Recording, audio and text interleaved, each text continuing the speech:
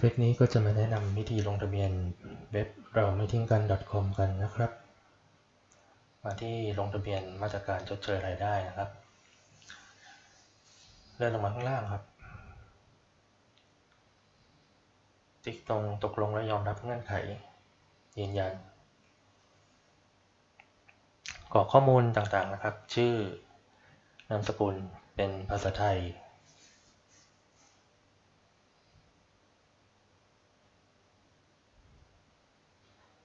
วันเดือนปีเกิดมา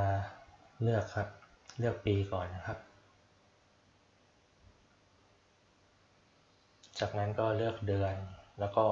เลือกวันที่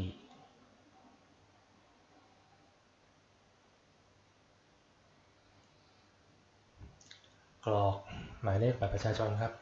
13 หลัก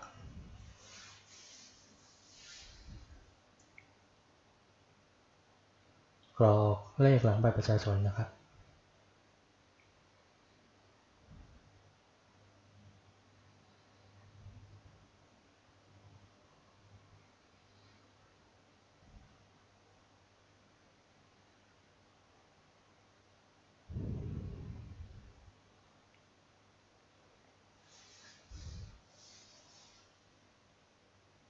จากนั้นก็เลือกข้อมูลรายได้นะครับ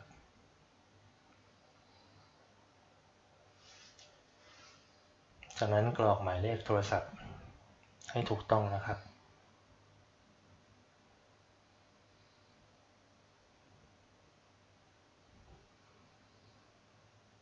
กรอกอีเมลหรือไลน์ก็ได้ครับ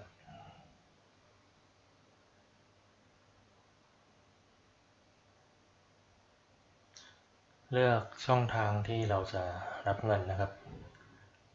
ถ้าท่านใดมีพร้อมเพย์ก็เลือกตรงรับเงินผ่านพร้อมเพย์ถ้าท่านใดไม่มีก็เลือกรับเงินผ่านบัญชีธนาคารนะครับ จากนั้นเลือกธนาคาร แล้วก็กรอกหมายเลขบัญชีธนาคารนะครับ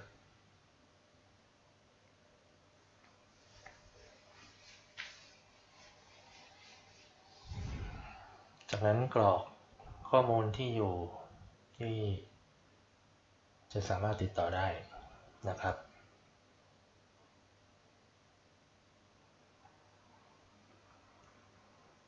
กรอกบ้านเลขที่กรอกหมู่ที่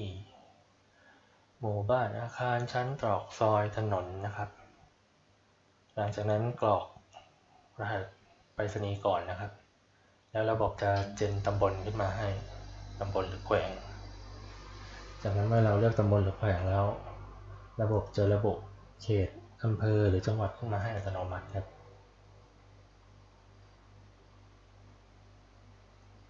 จากนั้นก็มาใส่ข้อมูลที่อยู่ทะเบียนบ้านนะครับ ถ้าเราตรงกับที่อยู่ที่ติดต่อได้เราก็ติ๊กตรงเหมือนที่อยู่ที่สามารถติดต่อได้ มันก็จะกรอกให้อัตโนมัติ จากนั้นคลิกดำเนินการต่อ จากนั้นมาใส่ข้อมูลการประกอบอาชีพนะครับ ใส่อาชีพหรือว่าตำแหน่งงานที่เราทำนะครับ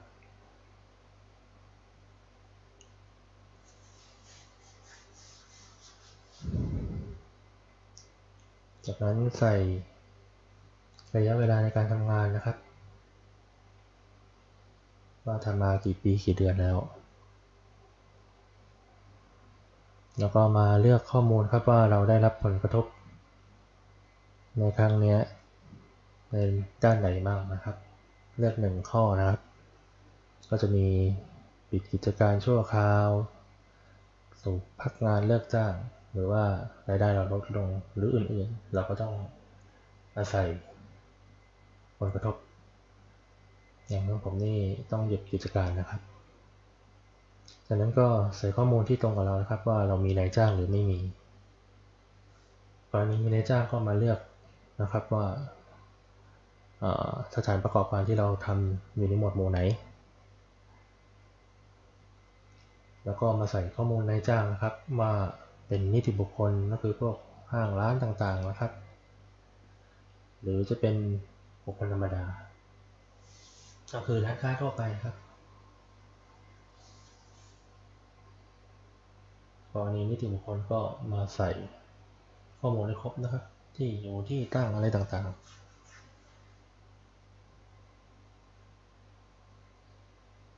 อันนี้ผมลองดูอะเลือกร้านอาหารดูนะครับ คนธรรมดาร้านก๋วยเตี๋ยวอะไรพวกนี้นะครับก็น่าจะเป็นคนธรรมดาครับ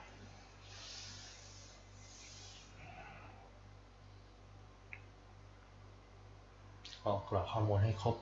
ถ้วนหน่อยนะครับ ทุกอย่างมันมีผลต่อตัวท่านเอง อย่างผมนี่ไม่มีนายจ้างประกอบอาชีพสระก็จะมาเลือกอาชีพ ตามหมวดหมู่ที่ปรากฏนะครับ ว่าเราเข้าข่ายอยู่ในหมวดหมู่ไหนเนาะ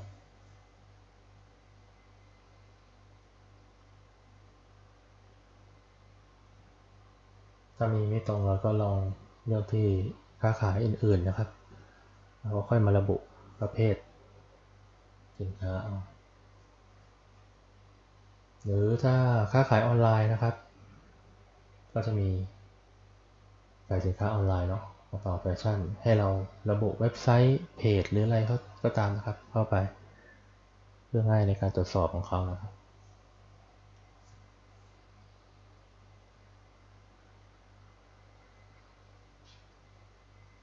ผมจะเป็นพวกของที่ระลึกนะ ไม่มีอยู่ในหมวดหมู่นี้ ก็เลือกค้าขายอื่นครับ แล้วก็มาระบุประเภท เป็นของที่ระลึก สถานที่ขายก็จะเป็นร้านนะครับ เปิดเป็นร้านไม่ได้มีเว็บไซต์อะไร เราก็ระบุ ชื่อร้านหรือว่าสถานที่ที่ตั้งของร้านเข้าไปนะครับเสร็จแล้วก็คลิกที่ดำเนินการต่อครับ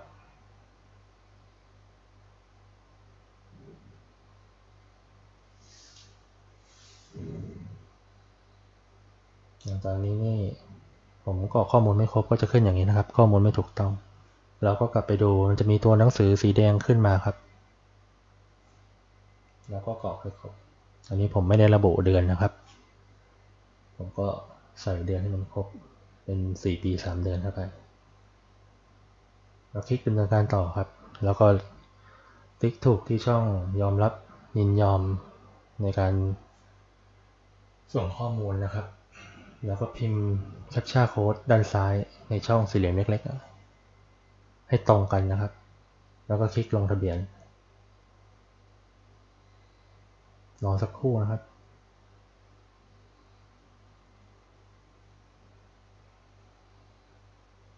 อ่าถ้าขึ้นอย่างนี้ไม่เป็นไรนะไม่ต้องกังวลลองใหม่ ลองใหม่ได้ครับ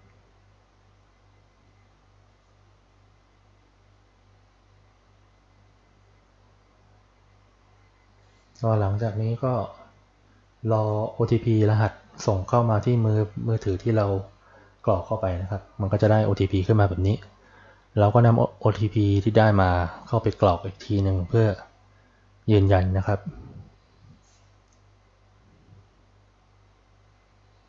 ก็จะขึ้นรูปแบบนี้ขึ้นมานะครับว่าเราได้ลงทะเบียนยืนยันเรียบร้อย เป็นอันเสร็จสิ้นนะครับ